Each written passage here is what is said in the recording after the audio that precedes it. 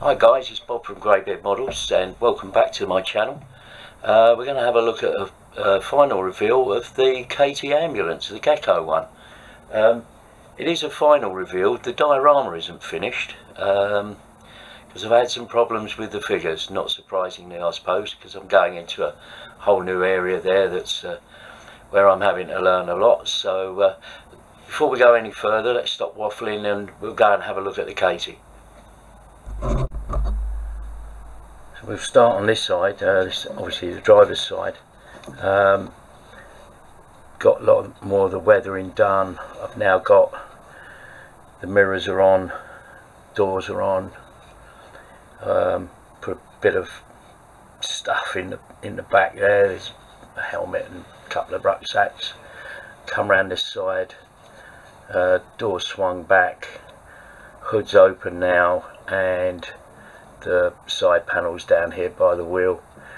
Um, and if you recall from the the last video um, I was going to have the figures in this area which is why the the vehicles at one side of uh, of the diorama base um, I've repainted some of the gravel and stones that I've used here. Um, it you know the Qattara depression was a really awful place. If you look at if you look it up on on sort of Wikipedia it, it it's terrible. There's some awful you know it's an awful place to drive a vehicle.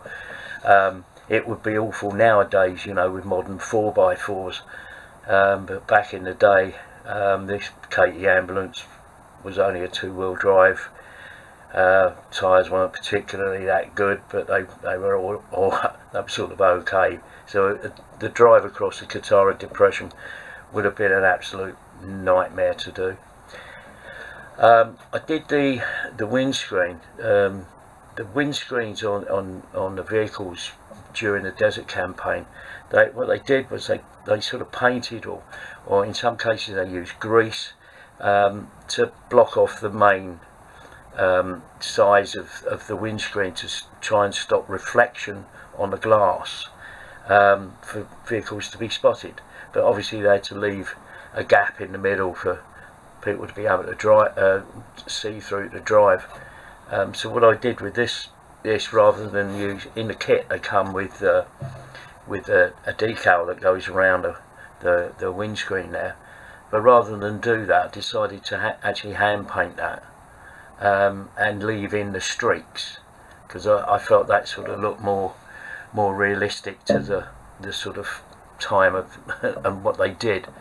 So anyway the, that's pretty much the Katy finished.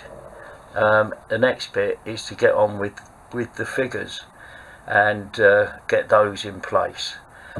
Um, there's a couple of little things that actually I did, I did mean to point out now I think about it so in drivers the drivers on driving on on on the uh, right obviously because it's a British vehicle. Uh, so on the seat in here I've got uh, um, Captain Anson's cap and his binoculars on the seat there. I thought I'd just add that little detail in there. And uh, on the mirrors um, I've actually used the chrome foil that, which is the um, it's the um, bare metal foil. Uh, it's used, used in cars and stuff and car kits. And I put small small pieces of that in there just to so there is actually a reflection. If you can get down and, and have a look there is actually a reflection. But um, yeah I'm quite pleased with the outcome. It's uh, it's come together quite quite well. Um, it's a bit tricky in places. You need to sort of think ahead a bit. But um, yeah apart from that it, it's all good. There's a couple more things that I'm I'm still working on really just to just to finish off. Um, I've got the the steel cable the tow cable to go round round here and the sand mats have got to go on. But um, apart from that it, it's it's all pretty much done. And uh, let's have a look at the figures because that's where the problem lies at the moment Right, well with the figures, um, they've actually got a, um, a coat of um, matte varnish that I've just put on them um, and I just wanted to see if that that sort of helped um, with the issues that I've got. The one figure that I that came out really well, I think, is is the nurse figure. Um, I'm quite happy with her, but I'm not really happy with the hair. The hair colour, I think, is a little bit too yellow, so I just need to really sort of tone that down. Um, the Captain Anson figure, I'm, I'm quite okay with. Um, it's it's it's all right. Um, I think I could have done a better job with it, but I think it's okay. Um, the Master Sergeant, um, Mechanic Sergeant Major Pugh, um,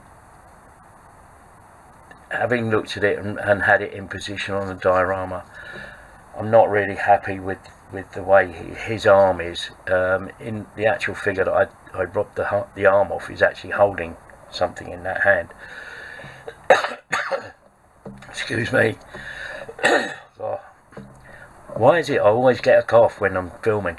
Anyway, never mind. Um, so having looked at this, I'm quite happy with the way it's, it's come out, but that hand is, is giving me an it. I'm not happy with that. So what I'm going to do is I'm actually going to sever his hand at the wrist and, and turn his hand round.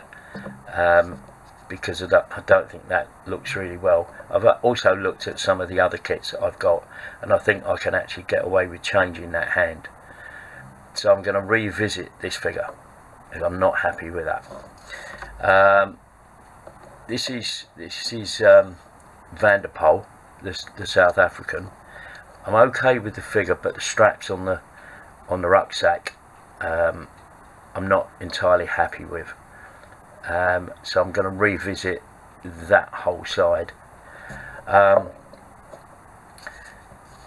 they're okay, but I suppose I'm I'm critical, critical of my own work. Um, they're sort of okay, but I'm not happy with them. Um, I think I could do better. So I think for the purposes of of the diorama, I can get them in place on the diorama but there's there's more to be done. So what I'm going to do is I'll, I'll just change change the camera around and uh, we'll put them on the diorama and see what it looks like.